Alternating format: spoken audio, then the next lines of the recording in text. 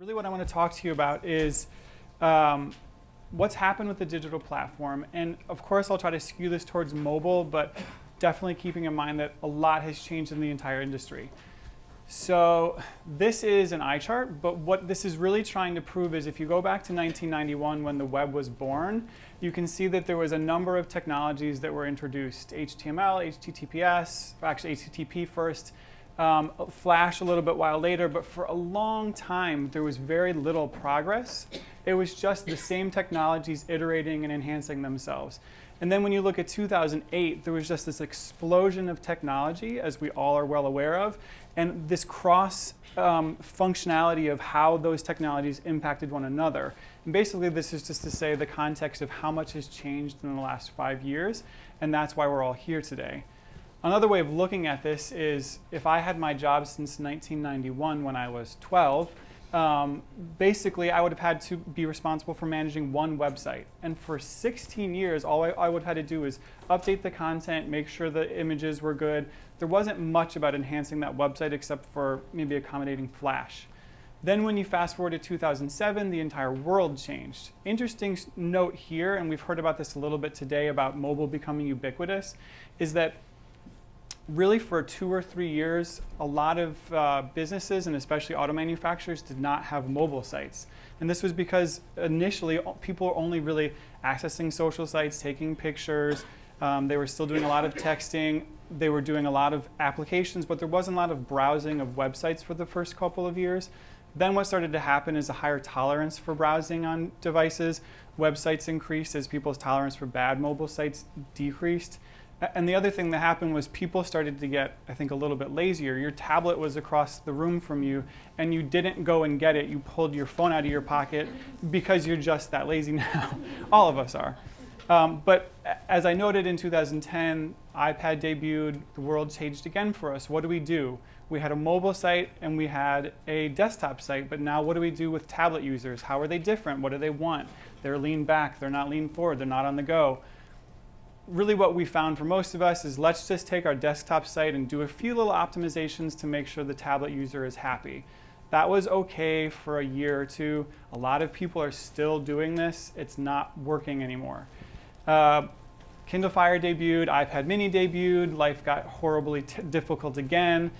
Nexus 7 debuted, people started using the word phablet, and I cried about it.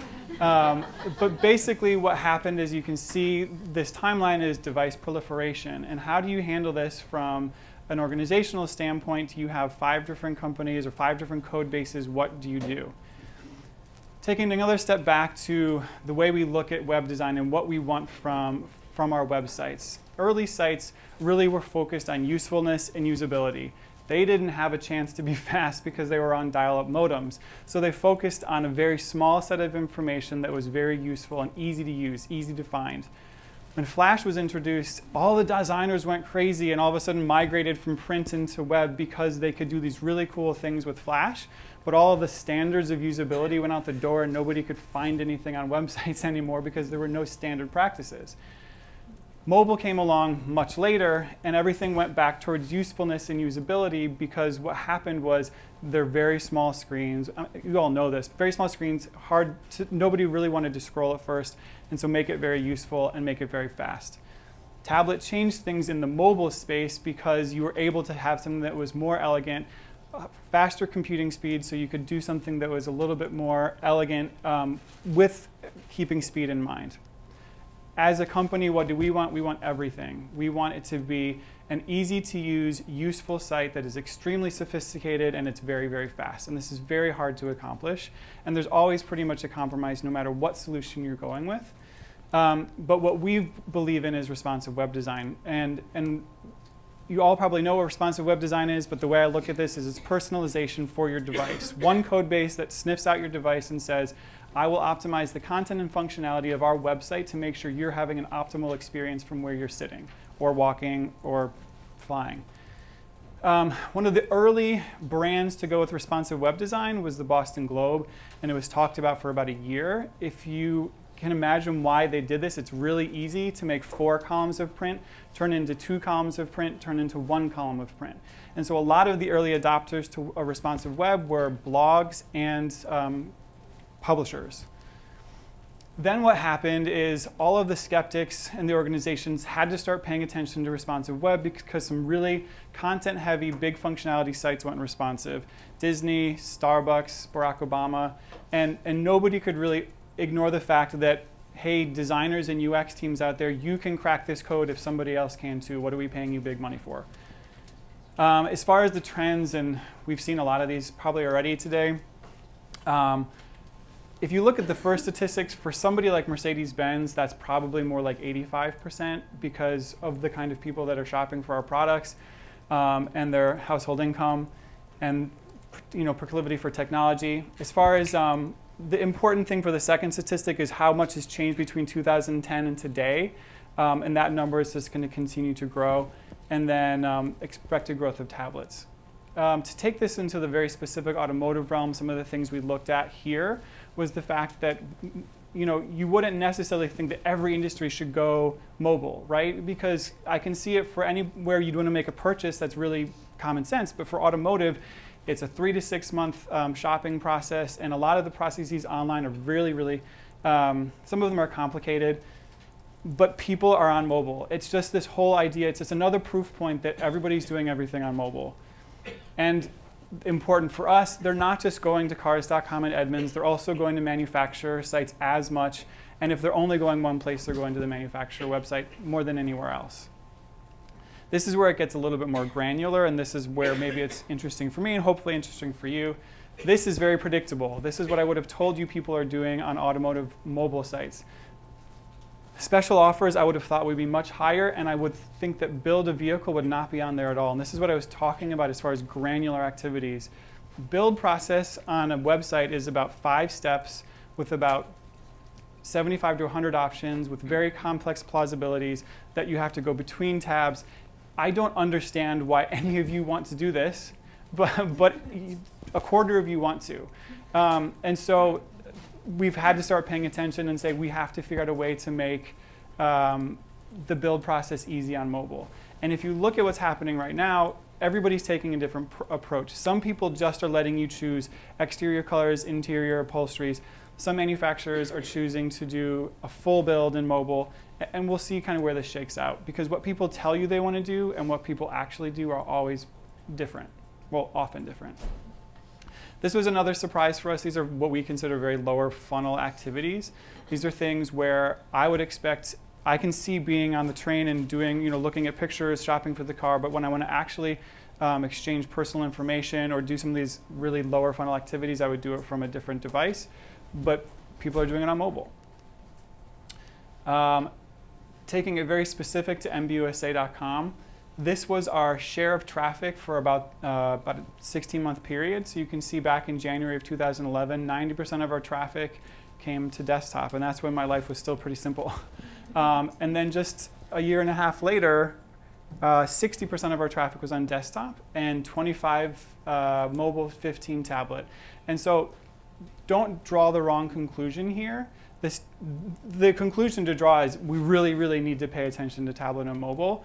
But if you look at our desktop traffic, which is in blue, it's continually growing steadily. So don't ignore that platform, as has been said before. It's still growing, and the, the cross-device usage is huge. But basically, all of the tablet and mobile traffic is additive. It's not necessarily cannibalizing traffic in other places. Um, this was also very telling for us. In, um, from a one-month sample a year apart, there was a 500% increase of the people who wanted to view more information that was available on our mobile site. So this was before we went responsive. Um, people weren't finding enough information. This is how our responsive class page launched um, in June of this year.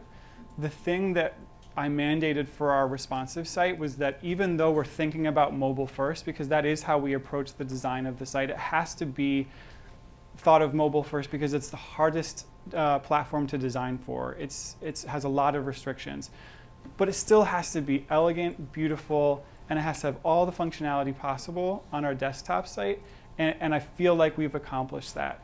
If you look at how it transitions to tablet and mobile, um, it still has the elegance, but it, you, we, it has all of the understandings of what that user is used to on that device. So the swiping and the double tap, pinch zoom, Um, and then, you know, if you look at the global navigation up there, which I think I get to here, that's the global navigation on our desktop site. And it's all the same code, all of the same functionality, and that's our mobile navigation. So it's broken out in between the kind of typical mobile menu icon and then a vehicles menu.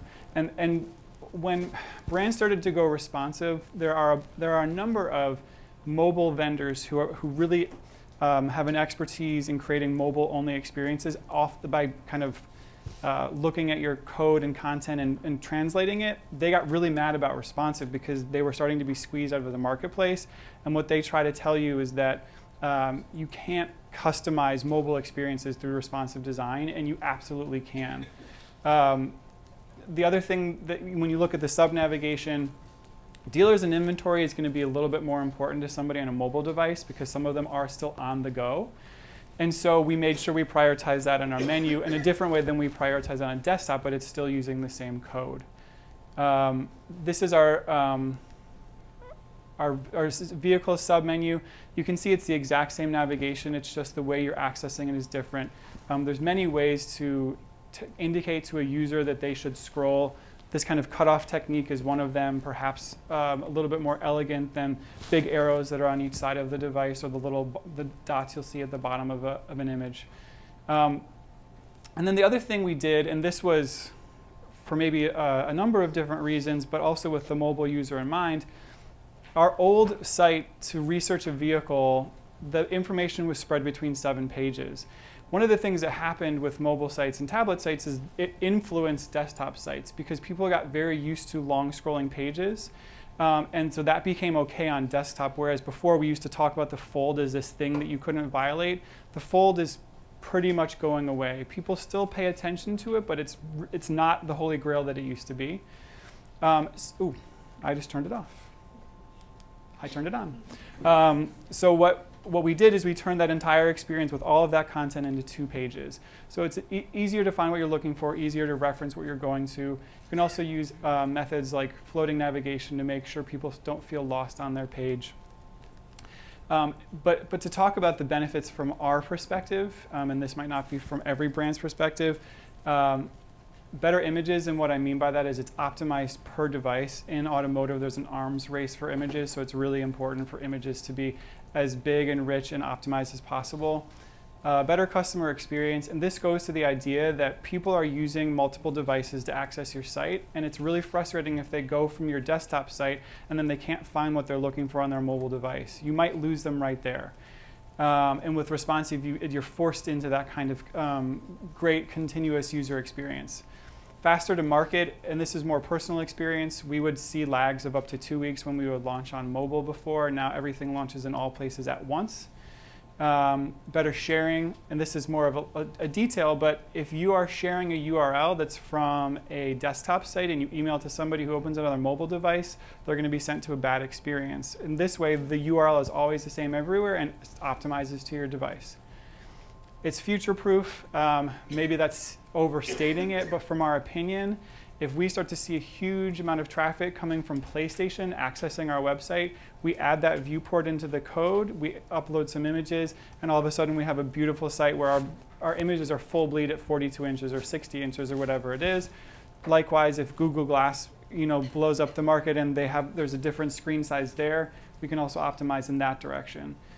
Um, and then the last thing is better insights um, it's really much easier now to look at how people are behaving on different platforms because they're consuming the same content and, and participating in the same functionality. As far as what I've learned from this process, uh, responsive design is a strategic move. It's not necessarily cost savings. It's not cheap. Um, it, you, there are some efficiencies, but that's not what your, your goal should be if you're trying to present this to some executives. Um, but that doesn't mean you won't gain efficiencies. There's tons that are there, it's, and a lot of them are long tail. They don't happen in the beginning, they happen over time. Um, the world will get more complicated before it gets simpler. Um, and that's mostly because it forces you to confront everything you've been ignoring more from the corporate perspective. You can't lean on your agency anymore because you're, you're, you're focusing on everything at all time while you're planning.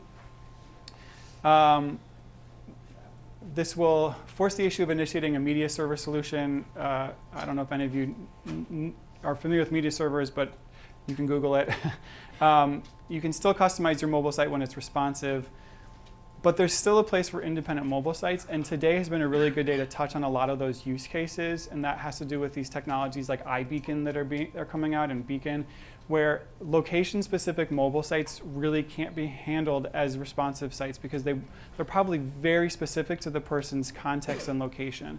And that's not necessarily what this is for. Um, and that phase rollouts will lead to unstable metrics for a short time. So don't don't freak out if you launch a responsive site and it's uh, it doesn't perform outstanding for the first month. It's it's usually uh, just a matter of time of people adjusting and learning the new behaviors. And I think that's it. Thanks everybody.